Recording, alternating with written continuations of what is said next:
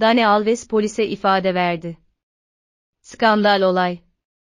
Brezilyalı yıldız oyuncu Dani Alves, İspanya'da bir gece kulübünde yaşanan taciz skandalı ile ilgili olarak gözaltına alındı.